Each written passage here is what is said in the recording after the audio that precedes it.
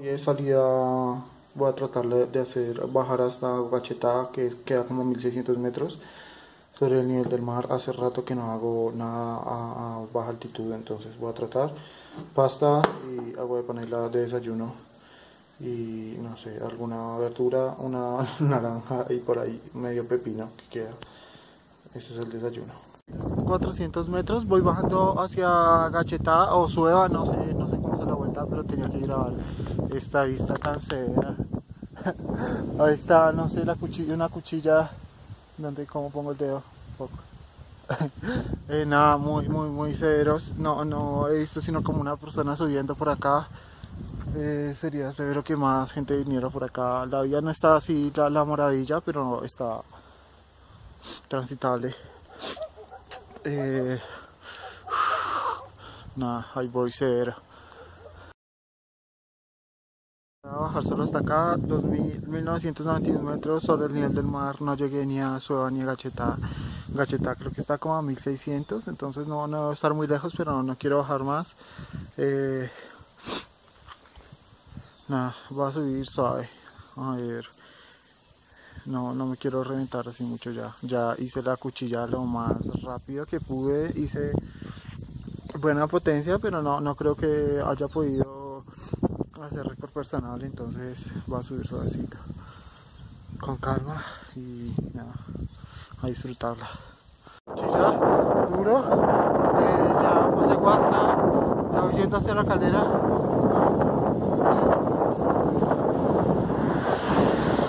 Estoy acabado, boté la plata, entonces solo me queda como un bocadillo y agua. Y esperemos que no me pinchen nada porque no tengo ahí voy estoy acabado pero ya casi. Eh, la había comprado ahorita la bicicleta estaba toda frenada. Quería hacer la salida porque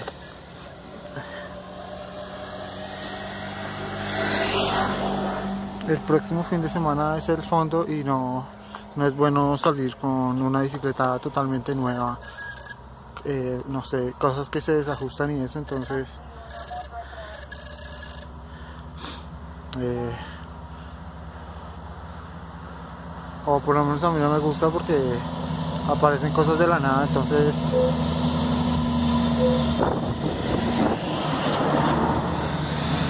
Nada, probarlo.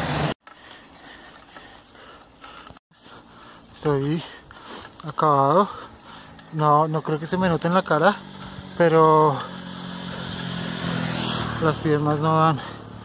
Estoy poniendo subiendo como a 130 vatios. Esta mañana hice récord de potencia de un minuto y de dos minutos. Y me sentía volando. No sé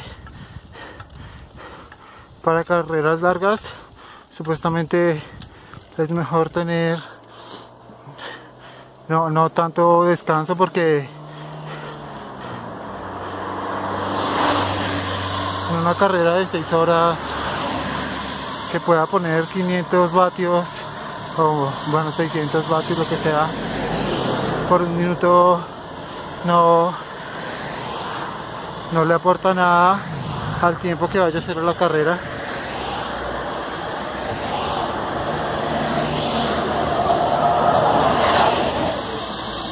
pero si pudiera poner aunque fuera 220 vatios aquí estoy viendo este pedazo después de 6 horas de entrenamiento sería la maravilla.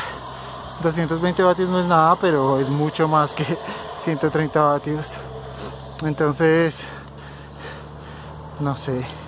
No, no voy a experimentar ahorita con la carrera del próximo domingo porque no no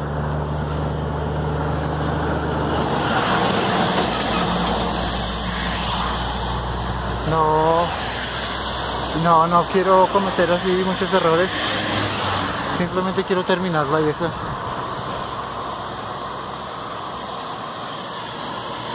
pero nada No, no se me nota porque voy hablando y todo, pero no, no, no, no me da. Tengo todo el resto del día para hacer lo que se me dé la gana, estoy acabado. Va a hacer comida rápido, papas, jugo con harto azúcar, arroz, frijoles y a ver películas y ya. Fuck. Ya me siento bien. Me duele todo, pero no, normal. Eh, tomar suficiente agua después de salidas de siempre, mejor dicho. Estar bien hidratado porque no sé cómo funciona eso, pero si estás respirando fuerte después de la salida, ya después de 30 minutos probablemente estás deshidratado. Entonces, durante la carrera también es re, importante porque si no, eh, no sé, todo se vuelve una pesadilla, mucho sufrimiento. Entonces mejor estar bien hidratado y ya, ya tengo como una estrategia de qué es lo que voy a hacer. Mm, entonces no, no, no, no va a ser así muy difícil. O no, no muy difícil, sino si llego a cierto punto bien, voy a hacer buen tiempo en la carrera. Entonces voy a, regularme bien y tratar de tener energía en cierto punto. Porque, no sé, no, no quiero que me pase eh, hacer, no sé, andar todo cansado sufriendo por, por más de, por muchos kilómetros. Entonces voy a hacerla bien, bien regulado. Pase lo que pase. Eh, no sé, igual me encontré con gente re dura hoy.